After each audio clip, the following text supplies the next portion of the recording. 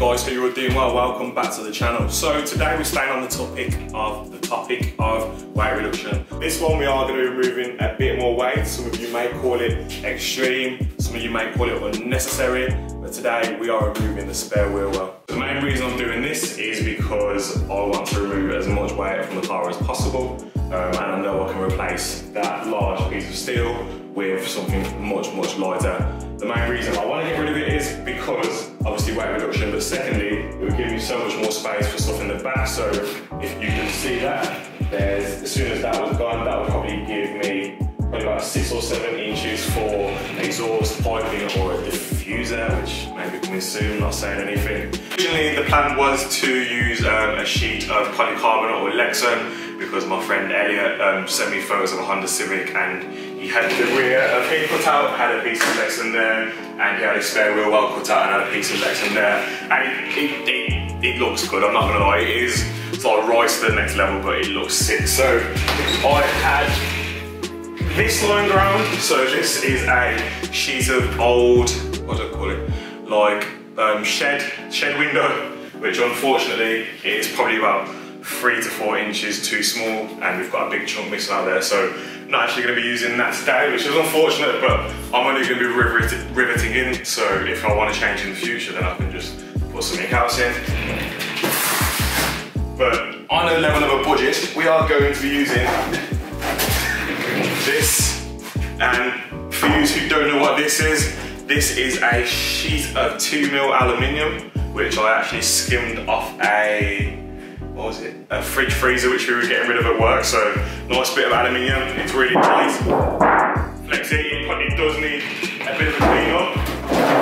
But it's just so I can get the holes out and get something in there and I can still drive it, that will do perfectly. So my end goal is to, obviously it won't be this video, but uh, once this is cut out and that's in, I would like to either go either Lexan polycarbonate or I would like to do some probably like aluminium composite, just something really light because aluminium composites sheets of probably about one to two mil aluminium with nylon in the middle, so it's really durable. So yeah, so the next plan is I'm literally just gonna go to the car, I'm gonna tell you parts of the car which you need to uh, worry about, such as the fuel lines.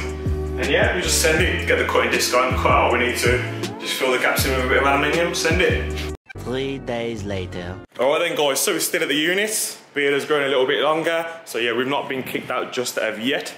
It does look a little bit bare, which does make me feel quite sad. But anyway, hopefully we'll have some good news by the end of this week. But anyway, we're gonna crack on. So here we have the spare wheel well. So my recommendation is gonna be uh, measure twice, cut once. The main reason I'm saying this is because if you look from here all the way across, it goes in here, and then back out. So you wanna make sure that you can seal it properly because if not, you will get a soggy bottom when you're driving. And then my second part of advice is there are fuel lines from here to here. So self-explanatory, if you go through a fuel line with a abrasive disc, which is causing a lot of spark, it's not going to be fun. And for the material for covering the gap, we have this 3 mil ABS plastic. I am currently in contact with a company who's saying they will supply Lexan to fit this which I think would look sick because you can never moan about reverse parking again because you can just see everything. There we go. So you have like an idea of what it's going to look like when it's all sorted out. There is a, um, what you call it, a protective sheet over this. So once that's off, it should look nice and shiny and clean. So it should be a quick, easy little modification, hopefully lose quite a bit of weight. As I can say, this whole sheet of ABS plastic probably weighs about three kilograms. Probably only going to be using about half of it. So obviously the metal in there that's replacing it now is going to be quite heavy. So should make quite a bit of difference. So let's do this.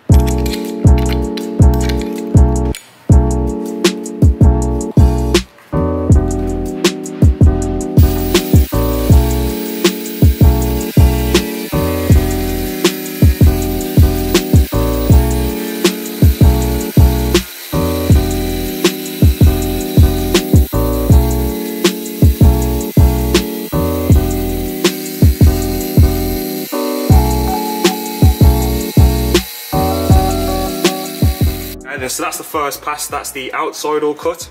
I still need to do the inside and also these parts here, they're double skinned. Well, this part isn't, this part and this part are double skinned. So I am gonna go underneath with the flap disc and then just grind those welds off as I don't have um, a spot weld remover. So I'm just gonna grind them off till it comes to come off. Let me try and show you what that looks like. So if you can see those, you can probably pry them off. On mine, they are quite rusty. So yeah, I think I might go with a screwdriver first, hopefully just pry it off. And then if that doesn't pry off, just get the flap disc on it. And those were the lines I'm on about that you really, really want to avoid. But other than that hiccup right there, this has pretty much gone quite smooth. Um, so yeah, a bit of a relief that the double skin hopefully, well, does remove your disc quite a lot away from the fuel lines. So yeah, what I'm going to do now is I'm just going to put the camera down, go from the bottom side like I said, use a screwdriver, try and pull these spot welds off, and then hopefully that should let this drop down other than this part. But yeah, nice easy, that's only took me, say about 10 minutes. If it took me 15 minutes, I probably wouldn't have done that. But yeah, weight reduction, boys. Okay, then another 10 minutes later, so I found the easiest way to get the spot welds out was putting a screwdriver in the gap, a flathead, and then getting a big hammer and just whacking it out and then prying and prying it out, which has worked fine. So um, now that I've done all of this, you can see that it is almost ready to come out. The only thing that's holding it in is this part here. So what I'm gonna do now is I'm just gonna go from a straight line from here all the way around to here and then should just fall out.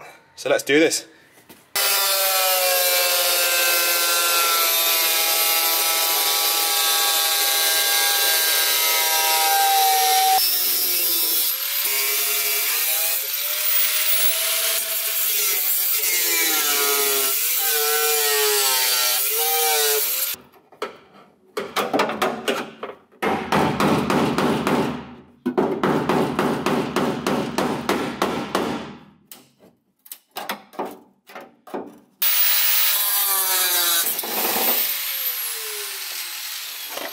Oh yeah.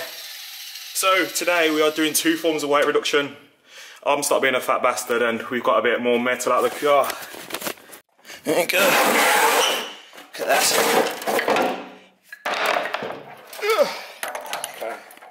So that is heavy. So there we are, the wheel well is out. That is a substantial amount of weight. Um, I will put all of the measurements in of how much everything weighs in post production. I don't really have scales with me at the moment. But there we go. I think that's in need of a thumbnail. I think I can probably go sit inside there.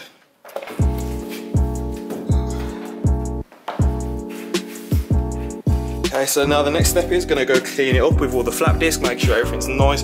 Probably put a, uh, probably put a bit of primer on so that we don't get any rust. But yeah, like that right there, that's the rear bash bar. Yeah, so uh, what I'm gonna do now is put the cardboard on, draw a template, transfer that to the plastic, and we'll get that all stuck in.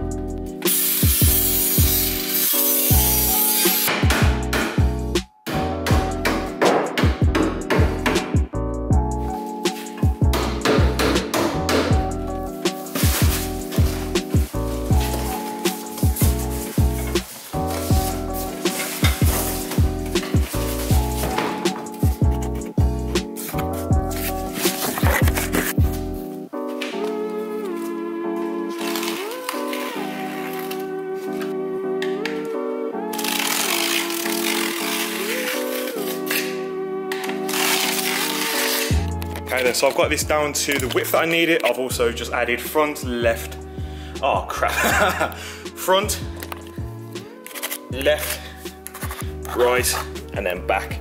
So that way I know when I put it in and I recut it, I still know which way is the front and which way is the back.